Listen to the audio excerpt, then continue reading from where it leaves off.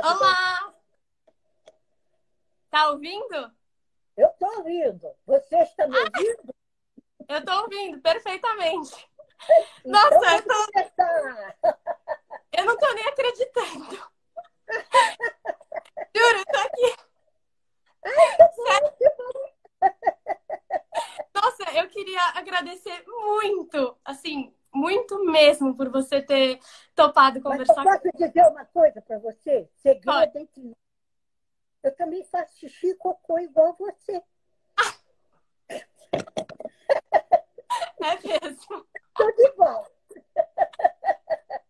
Mas, nossa, pra mim, assim, é um privilégio enorme estar conversando com você. Então, sério, querida. mesmo. Obrigada. É, eu queria primeiro, enfim, agradecer, falar que você é uma das atrizes que a minha geração, assim, de jovens atrizes mais admira.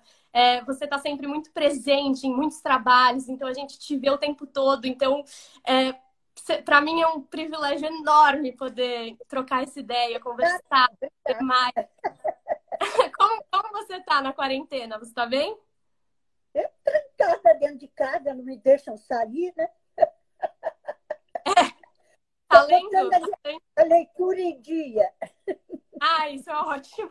Eu também estou aproveitando para ler vários livros que eu já deveria ter lido e não li até hoje, sabe? É, eu queria começar perguntando, é, uma das perguntas, acho, iniciais, como que começou a sua vida no teatro? Como que você entrou em contato a primeira vez com o teatro? Bom, eu acho que desde garota, quando eu brincava, eu fazia teatro. Então, quando tinha festa de aniversário, a gente sempre fazia aquela brincadeira de quem é que é, é, quem cantava melhor, quem recitava melhor. Então, a gente sempre teve isso, né? E na, na- no tempo que eu estudava, a gente tinha teatro na escola, tinha teatro na igreja, a gente tinha teatro em tudo quanto era lugar. E outra coisa que era que hoje em dia não tem muito, é que quando a gente tinha mais ou menos 12, 13 anos, a gente começava a aprender a dançar para poder fazer bonito na hora da formatura de ginásio, na hora da formatura de científico, na hora de formatura dos colegas. Então, sábado e domingo a gente afastava os móveis, quem sabia dançar vinha, vinha ensinar para a gente, era que sábado e domingo era uma farra. E você. Eu tinha um pedaço de. Tinha umas colegas que moravam do lado de mim, que eram bem mais velhas do que eu, que faziam teatro, é, assim, na igreja. Então, Uhum. o primeiro personagem que eu fiz foi fazer São João na vida de Cristo. Nossa. Como eu a- a- comecei a estudar piano muito cedo, também todo fim de ano a gente fazia recital para as famílias todas, né? para os amigos. Então, desde os seis, sete anos, eu estava muito habituada a subir no palco. Quanto tempo, né? São 60 anos de carreira, né? É, Praticamente. exato. exato. Então, é, é uma coisa que eu acho que eu sempre tive no sangue. Eu comecei assim, nunca pensei em fazer coisa diferente e eu não faço planos para o futuro, nunca fiz, as coisas vão acontecendo. Existe um provérbio de Confúcio que diz: quem faz o que gosta não trabalha nunca. É o meu caso, eu só me divirto. Você, você fez direito? Eu, eu vi numa entrevista sua que você fez faculdade. segundo ano. Mas aconteceu o seguinte: eu comecei a. Eu já fazia novela na TV Tupi, e, Uhum. ah, e como, como eu era conhecida da. da oi, meu Deus do céu! Da Zilka Salaberry, que é a minha madrinha de teatro, estavam precisando de uma atriz para o Teatro dos Sete, que era Fernanda Montenegro, Italo Rossi, Sérgio Brito. E ela me levou. E eu fazia. ah, a- a- participava das aulas de advocacia às sete e meia da manhã. E a gente uhum. ensaiava até as três, às quatro horas da manhã. Então, eu já fazia televisão, e aconteceu de eu entrar para o teatro com eles e ensaiar o grande teatro, que era para televisão, até as três, quatro horas da manhã. Aí Nossa. eu falei para a família, olha, não vai dar. a família ficou muito assustada, disse, não, eu vou deixar lá. Se não der certo, depois eu volto, né? Graças a Deus, não, não voltou. Não foi preciso voltar, ainda bem. E eles, você falou que eles ficaram um pouco assim, mas eles aceitaram, eles te apoiaram nessa escolha? Sempre, a família é sempre do meu lado. Uma família maravilhosa. Eu tenho fotografia desde que eu comecei, que papai tirava fotografia de tudo que eu fazia. E, e como, como que... acompanhou, me acompanhou até eu ter meu filho, minha mãe ia comigo em tudo quanto era lugar, tomando conta. Nossa. Como que foi essa experiência no Teatro do Sete? Como que foi? É, você fez o Beijo no Asfalto, né? Como que foi é. essa, essa experiência? Porque eu saí do teatro amador. No uhum. meu tempo, tinha escola de teatro. Então, eu fui aprender a fazer teatro realmente. Então, na primeira vez que eu tive leitura de peça, eu fiquei. Ah, Cada um tinha que falar do personagem dos outros. Meu Deus, o que, é que eu vou dizer? Eu não sei falar nada disso.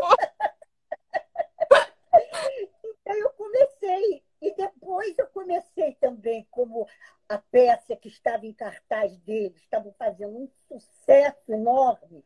E uma das atrizes ia sair, me botaram para substituir ela. E uhum. quem estava ensaiando era Ai, meu Deus, eu esqueço o nome de todo mundo. Era o grande diretor do Teatro dos Quatro. Era um italiano maravilhoso. Esqueci o nome. Jenny. Hein? É, Jenny é? Hein? Jenny Rato? Não, não. É, é, diretor italiano. Ah, tá. É, não era daqui. Então, ele me ensinou a fazer comédia, que era o maior barato. E então eu tive uma escola muito grande. E antes disso, eu fazendo o teatro é, toda semana, fazendo grande teatro do, do da televisão Tupi, uhum. então a gente fazia as melhores peças de todo mundo. Uma coisa que eu sinto muito falta hoje em dia, que os atores que estão começando não conhecem. Então, muita gente, por exemplo, não sabe quem é Dulcina, mesmo começando a estudar. E foi uma das pessoas, uma das mulheres que mais adiantou a parte de teatro. Uhum. Então, eu tive uma escola assim maravilhosa, em todos os níveis. Você aprendeu fazendo, né, teatro? E né? como eu comecei a fazer a teatro Mambembe, né, teatro amador, então, acontecia muita coisa que a gente tinha que se virar. então, a gente tem essa coisa de sair de uma situação para outra, não é? Era muito Qual é a importância?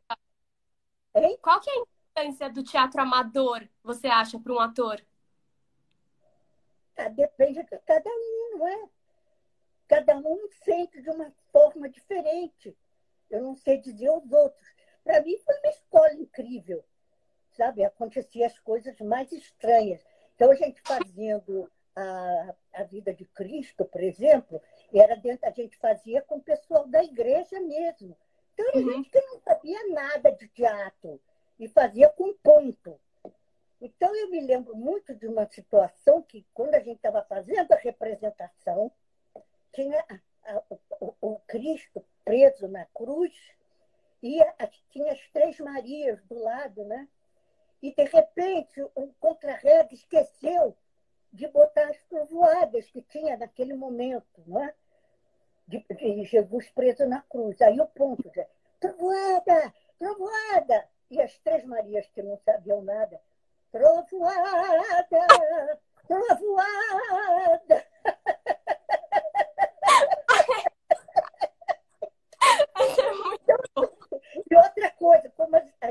instalações eram muito assim, feitas por pessoas que não sabiam fazer direito, né?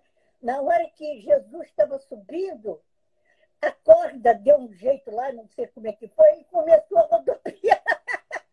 A gente segurando Jesus Cristo ele não ficar rodando. Outra que eu também acho muito engraçada é que a gente fazendo, é, quando a gente faz a vida de Cristo, naquela temporada de calor danado, né? Aí, de repente, estão fazendo lá a peça e despenca tudo. Aí a gente pega Nossa Senhora sentada num banquinho lá atrás, com as roupas suspensas aqui até nas coxas, botando esse véu tudo para cá e fumando. E falando assim,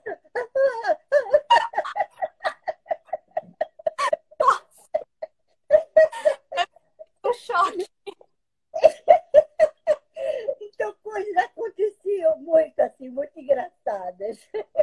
Mas na televisão, que também quando a gente fez, não tinha, não tinha videotape, Uhum.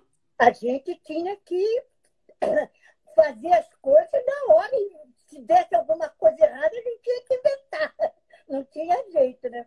Você, por acaso, sabe o que é Dália? Não. Não, nunca escutou falar nisso? É cola. Da- a, cola de teatro. Né? E por que esse nome? Porque naquele tempo a gente ensaiava pouco né, para gravar. E o, o, o ator botou a, os deixos dele, as colas, em umas, umas flores que estavam assim. Botou tudo ali. Aí chegou o cenógrafo. Não, essas flores não estão boas. Aí tirou, mudou outra coisa. Então, quando o ator chegou, minhas dálias! Aonde estão as minhas dálias? Eu quero as minhas dálias! Aí ficou esse nome. História que você. Eu acho que você desmaiava. E aí as pessoas sempre batiam na perna, não tem? Pra acordar. É, era? É, é, mocinhas desmaiavam muito, né? Então, quando a gente caía no chão e a câmera saía de cima da gente, vinha o, o, o que tomava conta da gente, que eu esqueci o nome, batia na gente para avisar que a gente podia levantar. Uhum. Então, eu desmaiei, bateram na minha perna e eu. e a câmera em close em mim. Eu... O pé da câmera que tinha batido na minha perna. E você achou que. eu achei que já era para sair. É, falando da, da televisão, das diferenças para o teatro, quais são as maiores diferenças, assim, desses dois veículos para você? Na, na televisão, hoje em dia, né? Se você erra, tem um videotape que pode voltar. Uhum. Quando começou o vídeo, a gente tinha ódio. A gente queria matar quem inventou o vídeo. Porque não cortava a fita. Então, a gente tinha que fazer de comercial a comercial. Se alguém errasse, a gente tem que começar tudo do início outra vez. Então, Nossa. como era normal a gente errar e levava para frente, porque era ao vivo, né? Então a gente queria morrer, porque a gente voltava umas três, quatro vezes desde o início para ir até o fim. A gente queria matar. Você perguntaram aqui. O, o Ricardo Gaeta perguntou aqui se você tem preferência por algum veículo, se você prefere fazer teatro ou, ci- ou cinema ou Eu televisão. adoro representar. Teatro, televisão, cinema, dublagem, seja o que for. Eu quero estar representando, vivendo outras vidas. Isso é que é o legal. Mas o que eu gosto mais de fazer mesmo é musical. Cantar é uma delícia, a gente esquece de tudo. Nossa, É muito gostoso. Muito. Eu, eu, eu nunca fiz musical, mas é, eu acho que é um sonho, assim, né? Uma, deve ser uma experiência, enfim, sem igual, né? É, você ao longo da sua carreira fez muitos é, papéis importantes. Teve algum que te marcou assim muito? Muitos, muitos, muitos, vários. É, muito, eu ganhei muito prêmio com musical, com drama, com comédia. Então eu posso dizer que tenho um assim especial, né? São todos muito bons, muito gostosos, muito gostosos mesmo. Agora, uma coisa que eu quero dizer para quem começa, que eu fiquei muito espantada, é que eu ensaiei uma peça na Escola de Teatro do Wolf Maia, lá em São Paulo. Uhum. Então, o pessoal, os estudantes, vendo a gente que já trabalha há muito tempo, vinha para perguntar o que, que devia de fazer. Eu disse, olha, tem que ter muita paciência, tem que estudar muito, se interessar muito e ter algum outro trabalho para quando a coisa parar. É verdade. Eu fiquei boba. que as pessoas não sabem que a gente pode estar tá lá, ganhar prêmio lá em cima e passa um ano sem receber uma, alguma, algum trabalho para fazer. Hum. Então, para quem não é produtor nem produtora, que quem faz produção aí vai tratar de fazer a sua própria vida, né? Mas para quem não é, tem que esperar o trabalho aparecer. E isso acontece muito. Eu já fiquei um ano sem trabalhar. E é horrível, Nossa. né? Muito horrível. Então, para quem está começando, tem que saber que isso acontece. Então, eu estava vendo hoje, estou me lembrando disso, porque eu li hoje no Jornal do Globo o Ai, meu Deus, como eu esqueço dos nomes. O, o Babu Santana, que fez o, o bebê. bebê uhum. né? Agora, ele já fez 48 filmes, já ganhou dois prêmios, não sei quantas peças, e estava desempregado há quanto tempo? Quer dizer, a coisa continua, a coisa é assim. A nossa profissão é tem que gostar disso. E se fizer só para aparecer na televisão, vai se danar. Não vai ficar. Nossa, sim. Qual, qual que é o maior desafio de ser ator, de ser atriz para você? Não entendi a pergunta. Qual é o maior desafio de ser atriz? Qual foi? Qual é o maior desafio? Qual é o maior desafio? É esse. É esse? Você se manter na profissão. Uhum. E saber Sim. decorar, né? eu tenho muita dificuldade para decorar. Eu tenho que escrever, escrever, escrever, falar, falar, falar. Nome de pessoa, então, nome de personagem, terror. Porque, pessoalmente, também, para eu gravar o nome de colegas, que eu não conheço assim, né? É, tá... Querido, tudo bem? Como... Mas no teatro a gente tem que dizer o nome para quem está assistindo saber o que está acontecendo, né? Sim. É, você, enfim, nunca parou de trabalhar, né? Fora esses momentos de baixos. É, você pensa em parar em algum momento ou você quer ou Morrer jamais? Nunca, até o fim, se Deus ajudar. E, e você, é, nesses anos todos, é, qual foi um, um momento assim que marcou a sua vida pessoal em relação ao teatro? Teve alguma personagem? Eu sei da história da Amélia que você fez, que marcou muito a sua pessoal. Como foi essa história? Você pode contar pra gente?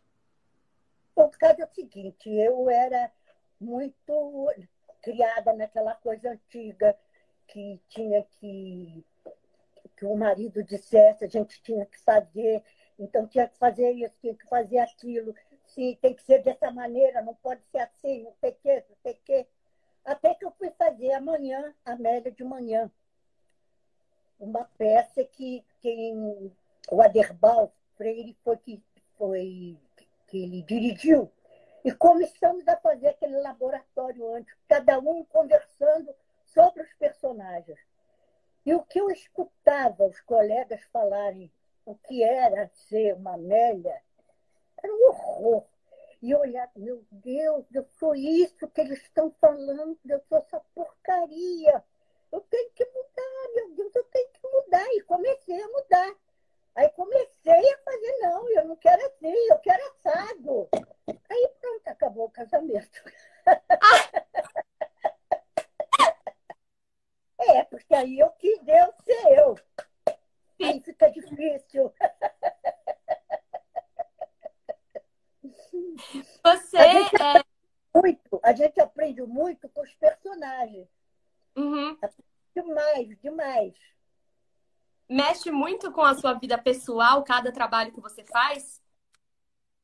Depende, depende. Eu me lembro que eu estava fazendo uma peça, que eu estava, ficava rouca, rouca, mas por quê?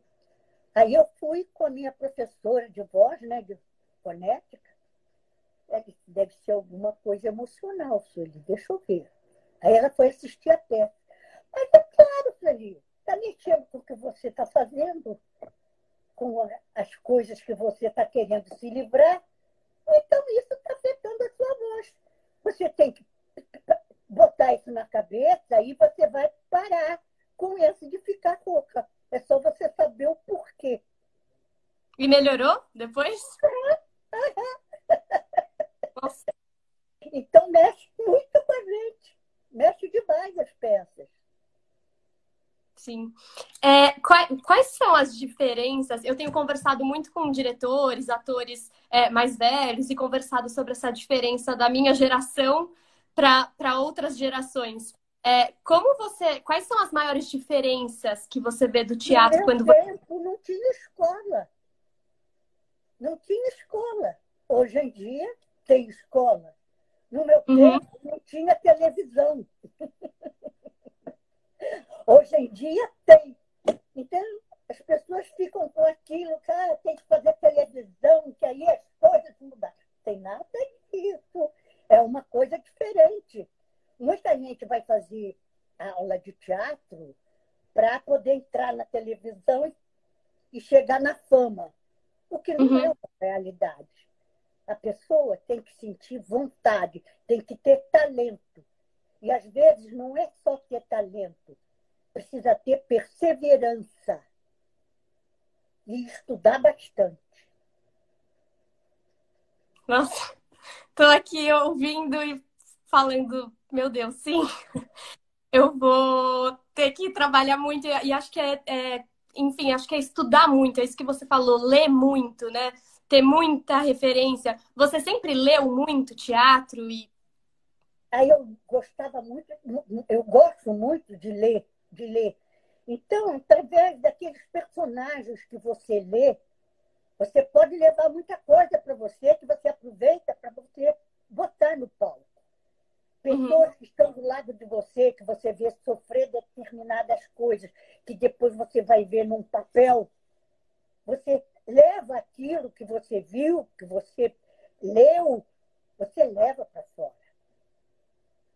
Então, uhum. é, a, e a coisa também de estudar. Hoje eu acho uma coisa muito estranha, mesmo as pessoas fazendo aula de, de teatro, não conseguem projetar a voz. Então fica uma coisa assim que não chega no final do. Então na televisão a gente vê muito isso. Uhum. Também coisas que você nem consegue entender. E pessoas que fazem teatro, que têm pronúncia, que têm aula de voz, de jogar a voz para frente, você não perde. É uma uhum. outra coisa que precisa estudar bastante. E outra Sim. coisa mais principal é gostar daquilo.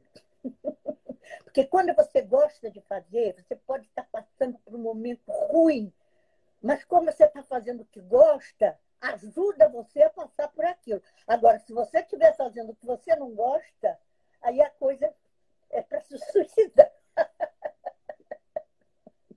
Sim. E antigamente, o próprio Tolentino, né, do Grupo Tapa, sempre fala que antigamente as peças eram de quarta a domingo, com duas sessões é. sábado. Não, é, de segunda, segunda foi Dulcina de Moraes que passou para terça. Então, foi a primeira vez que começaram a ter descanso na segunda-feira. Depois, uhum. agora, a gente vê sexta, sábado e domingo. E não se pode fazer duas nem três sessões no mesmo dia, porque tem o teatro infantil, não dá para mudar. Naquele tempo tinha muito menos teatro, mas os teatros eram muito maiores e tinha muito menos atores e muito menos companhias. Então, era muito fácil. Pegava um dinheiro emprestado no banco, montava a peça e dava para pagar todo mundo e continuar a peça com sucesso, aquilo ainda era melhor ainda. Então, dava para todo mundo se manter. Várias famílias se mantinham dentro do teatro. Uhum. É, porque é, você mesma sempre, é, você falou, né, que você aprendeu fazendo. E aí eu fico me perguntando como os jovens atores vão aprender fazendo, sendo que a frequência é muito menor, né, no palco, uhum. né? Isso é, pode. Pois é, a gente fazendo a peça de terça a domingo, normalmente duas na quinta, duas no sábado, duas no domingo. Você, quando estreava, chegava no final de, de, de, do domingo, você já estava com aquela peça assim. Hoje, você faz de sexta, sábado, domingo, né? estreia? Aí, na semana seguinte, você tem que continuar, tem que fazer tudo de novo, tem que bater o texto antes, para não ter problema. Naquele tempo, você já saía com tudo na cabeça. Nossa, isso é muito chato, né? Essa, essa mudança. É... Hoje, no outro dia, quer dizer, antes da quarentena, né? Eu fui uhum. assim no, no onde estavam as peças de teatro, tinha peças que só fazia uma vez por semana. Como é que se aguenta? Então, todos são jovens que estão querendo fazer alguma coisa, né? Porque hoje, para montar uma peça, para alugar um teatro, é uma coisa absurda. Naquele tempo não é. era. É tudo muito caro. E hoje não tem, os teatros, a maioria, não tem aquela coisa de ter um, um, som legal, então tem que botar microfone, aí encarece muito mais ainda. Hum. Então é tudo muito mais complicado. Então, quem faz hoje em dia tem que gostar muito. Sim.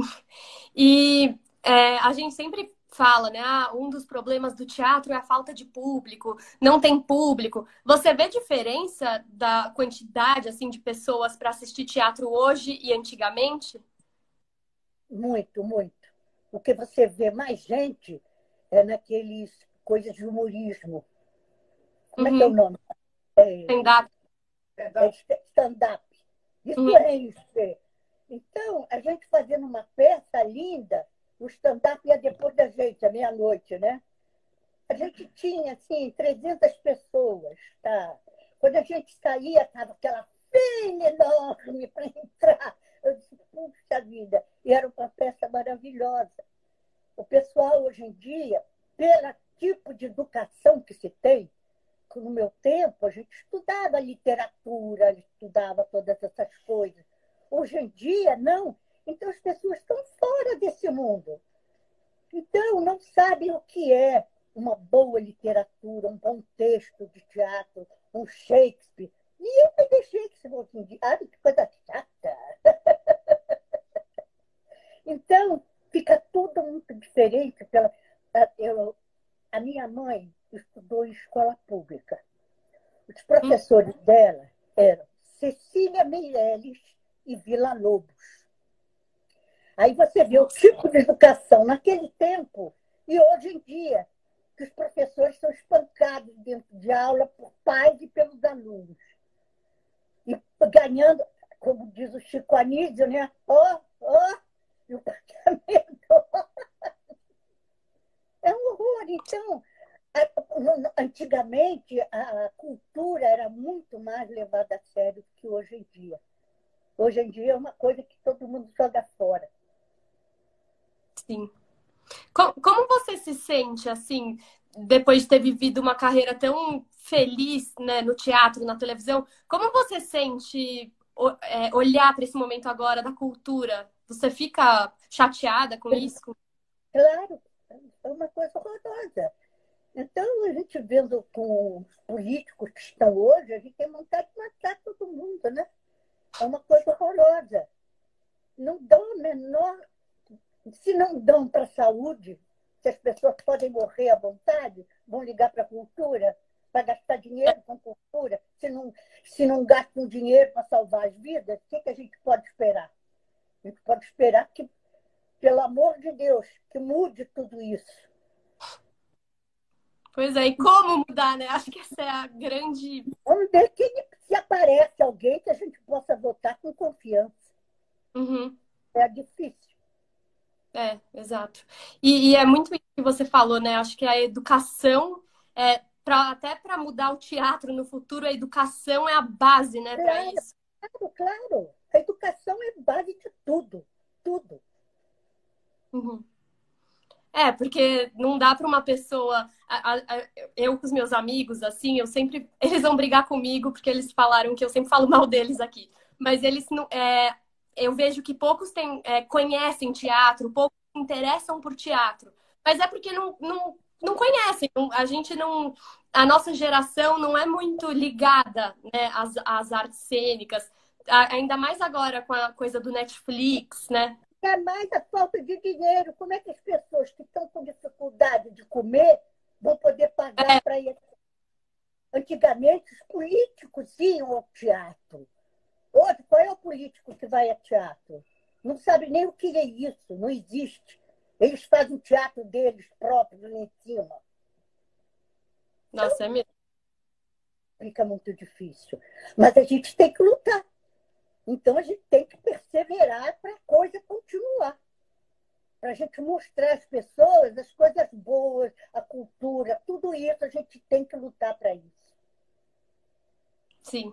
É, eu, eu confesso assim que como jovem, eu quero ser atriz, nessa coisa, eu, eu, eu fico um pouco meio, meu Deus, é, o trabalho vai ser longo e árduo, né? Porque uhum. realmente nada é favorável hoje para se fazer teatro, né? Não. o que você vê mais nessa lista de teatros são companhias que se juntam, de pessoas que estão começando e que lançam conta hum. tudo para poder, poder mostrar o seu trabalho.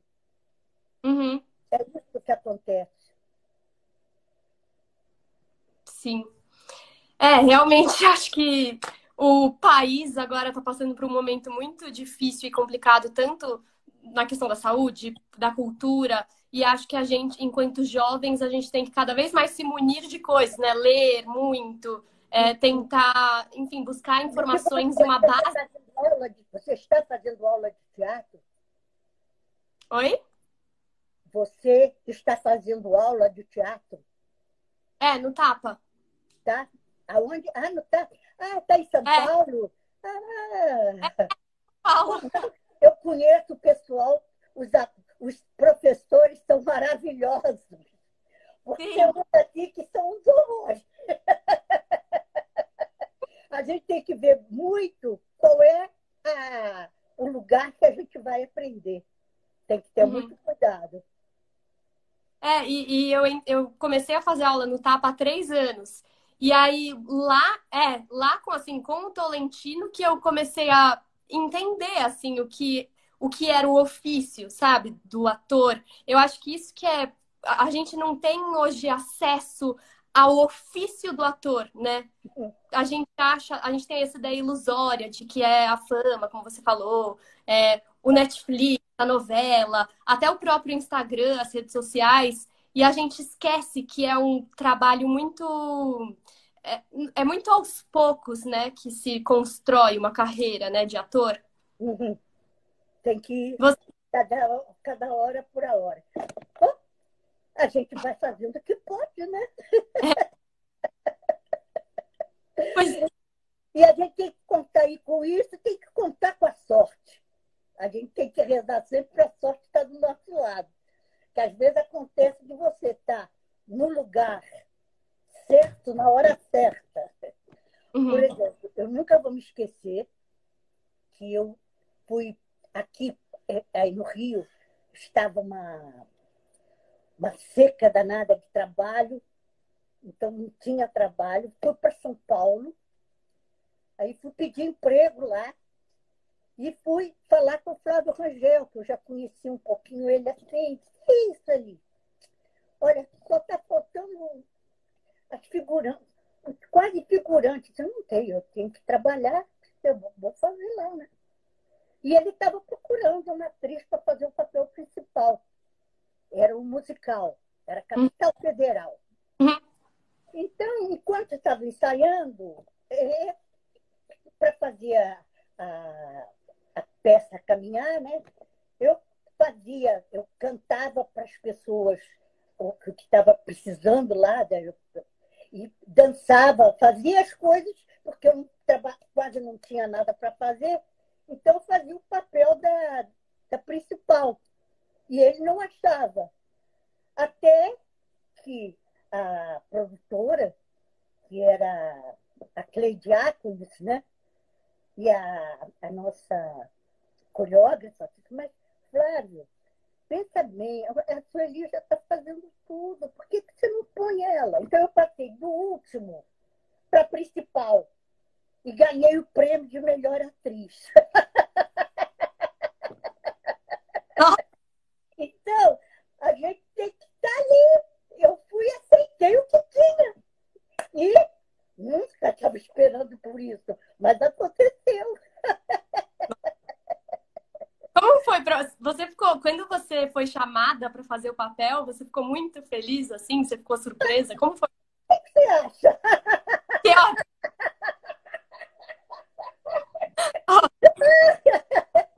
Imagina, não é? Eu é... feliz porque os colegas ainda ficaram mais felizes ainda. Isso Ai.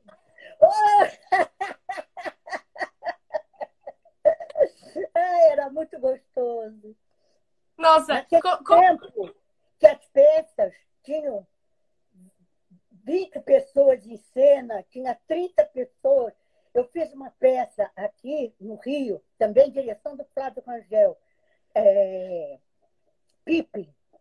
Uhum. Tinha 27 contra-regras, uma orquestra de 30 pessoas e balé e os atores. Para você ver. Hoje em dia, quem é que consegue fazer uma coisa dessa? Está cada vez mais difícil, né? Nossa, sim. Muito. Sabe o que eu queria te perguntar? Não tem muito a ver com o que a gente estava conversando, mas eu, eu sempre eu tenho muita curiosidade em saber como eram os teleteatros. Como que foi isso na televisão? Você participou de teleteatros? Então, eu comecei no tempo que não tinha vídeo. Uhum. Era tudo. Se, se não desse certo, entrava emergência no ar. É, mas eu comecei quase no início da televisão mesmo. Eu comecei em 59. Nossa, foi muito é. massa. Nossa, você acompanhou todo o movimento. Eu fui fazer o Beijo no Asfalto em 1951. Uhum. Como, como que foi para você? É, você trabalhou com muitos atores, muitos diretores. Como foi é, essa passagem né, da televisão, é, dessa grandiosidade da televisão? Como foi para você ter vivido isso? Assim, antes os atores, é, eu, pelo que eu sei, é, os atores de teatro faziam televisão, né? E hoje é, tem uma inversão disso. Você acha, você vê assim? Por quê? Você sabe por quê? Não. Porque não pode fazer teatro junto com novela. Porque por causa dos horários, senão a produção vai ficar louca. Se tiver que parar para a pessoa ir fazer o teatro, para fazer uma matinê. As matinês acabaram por causa disso. Por causa da televisão. Que os atores não podiam fazer. Você acha, é, não sei se a gente pode falar isso, mas você acha que a televisão nesse lugar é, atrapalhou um pouco o teatro, assim? A televisão fez com que as pessoas ficassem mais distantes do teatro? Eu não entendi a pergunta, querida. Se você, não, se você acha. A voz, sumiu a voz. Ah, se você acha. Se você acha que a televisão fez com que as pessoas se afastassem do teatro. Não. Ou não? Não, mas é isso. Se a pessoa não está fazendo televisão, vai fazer teatro. Mas se tiver fazer televisão, não pode fazer teatro. Uhum. Mas e do público? Você acha que o público começou a se interessar mais pela televisão do que pelo teatro? Mais ou menos. Mais ou menos. Porque é, é, quem gosta de ir para teatro não fica muito ligado. Agora, quem fica em casa fica ligado na televisão, né? nas novelas. Uhum. Mas o teatro nunca parou. É. E nunca vai parar, né? Nem vai parar, isso aí. Ah, só agora, nesse momento né, de pandemia que a gente está vivendo. Mas as pessoas estão, né, continuando. Como é que vai ser agora para a gente trabalhar só com cinco, cinco cadeiras uma pessoa? Cinco cadeiras uma pessoa. Qual é vai aguentar assim? Me diga, no teatro. Não, é muito difícil. Então, vamos rezar ah. para essa vacina aparecer logo.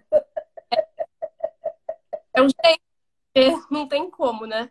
Uhum, uhum.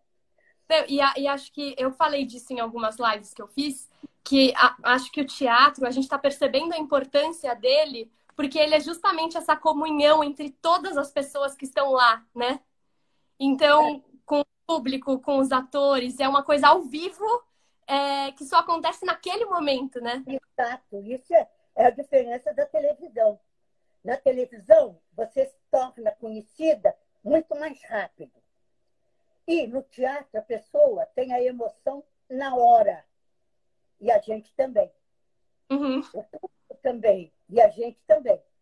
A gente escutar, a gente sentir a emoção da plateia quando a gente faz uma cena dura, uma cena forte. E a gente sente aquele silêncio. Ou quando a gente faz uma coisa de comédia, as pessoas riem a beça. É maravilhoso, aquilo bate na gente uma maior alegria. Nossa. Ai, dá muitas saudades, né? Conversando assim, de ir ao teatro, de ver, sabe? De... Ah, nem fale, nem fale. Agora que a gente pode ir, não dá para ir. É. Fica muito triste. Mas olha, vou te dizer uma coisa. Acho que hoje em dia não acontece, mas eu já tive épocas da minha vida que eu fazia teatro pela prefeitura, na rua, no centro da cidade, acabava, ia fazer teatro no centro do Rio, o Mercador de, de Veneza, saía correndo de lá, que era às seis horas da tarde, saía correndo, ia para a Barra para fazer os novices rebeldes. Fazia três espetáculos por Eu... dia. Nossa. Hoje em dia, não dá. Não acontece isso. Nossa, hoje em dia você tem que. Demora, né? Para você conseguir fazer uma peça e depois. Agora, Ai. tem outra coisa também, né? Antigamente, a gente levava quatro meses, cinco meses para montar uma peça. Com o advento da televisão, que uhum. começou a decorar, decorar, decorar, a gente começou a fazer, em dois meses a gente monta uma peça. É. Muito diferente. Às vezes até em um mês e meio a gente está fazendo a peça. Mas você, você acha que é bom? Hein? Você acha que isso é bom ou você acha que atrapalha o processo do teatro? Ser tão rápido? Não, fica mais rápido, mais, né? mais rápido. Uhum. É, a gente está nos nossos 10 minutos finais aqui, que daqui a pouco para a live. Ai, que pena. É tão eu... bom. Quero que você dê um beijo todo mundo lá no Tapa, que eu sinto muita saudade. Amo todos eles, são ótimos. Essa no Tapa, né? Eu não. Fiz, Qual fiz. peça você Mandrágora. Ai, que máximo! É, foi com o Sérgio Santana, foi com o Rodrigo. Rodrigo. Ih. Rodrigo Lombardi, Guilherme É, Ana. Rodrigo Lombardi, foi com o. Oh, meu Deus, esqueço dele. Pietro, Pietro, agora me esqueci. Você sabe quem é, um ator maravilhoso. Aliás, esses atores lá são todos maravilhosos. A gente se divertia muito. E a peça é maravilhosa. Para todo mundo, tá? Vamos Os lá. Eu queria, eu queria, Hein? Eu queria inclusive agradecer é, o Tapa e o Tolentino, Eduardo Tolentino, o Ariel, produtor e ator do Tapa, porque eles que me passaram o seu contato e aí eu pude ter essa oportunidade de conversar com você, né? Então que Que bom, realmente que bom, que bom. então eu queria agradecer muito. Para todo mundo ter um teatro muito melhor daqui por diante. Que a educação seja muito melhor. Sim, ai, tomara. Eu vou, juro, eu vou lutar para isso na minha vida, assim, vou estudar muito e quero um dia poder ser um pouquinho do que você a vida é assim, ó. exatamente. E queria agradecer muito o seu filho, Carlos, porque ele me ajudou a, a conectar aqui. Ele que me ajuda tudo, porque eu não sei fazer nada disso. A gente parou hoje para fazer tudo mais. Então eu queria muito queria muito agradecer você por essa oportunidade. É, sério mesmo, assim, é muito, muito importante para mim. É... Ai, juro, é, é muito importante porque hoje em dia Hoje em dia, eu acho que conversar assim, com atores e atrizes que a gente admira é, é uma das maiores aulas que a gente pode ter. Então, muito obrigada por essa Você já oportunidade. fez alguma participação com plateia? Oi? Você já fez alguma participação com plateia? Eu fiz o Jardim das Cerejeiras no Tapa. E aí, o que, que você sentiu? Senti que foi, foram os melhores meses da minha vida. Juro. Deixa eu te contar uma das primeiras. Muito antes do, de fazer o, o, beijo no, o Beijo no Asfalto, Uhum. fazendo teatro infantil, foi a primeira vez fora do Mambembe, do, do, do Amador. Aí eu fui fazer um que eu ganhava. e eu fazia um fantoche. Aí disse, aí vou dar tudo de mim. Aí acontece teatro lá, assim? Aí eu entrei, ah, Dedê, as crianças. As mães saíram correndo com as crianças. Eu fiquei horrorizada, eu queria morrer. Já na outra vez eu já entrei mais calminha. Mentira. Foi humilhante. Várias são boas.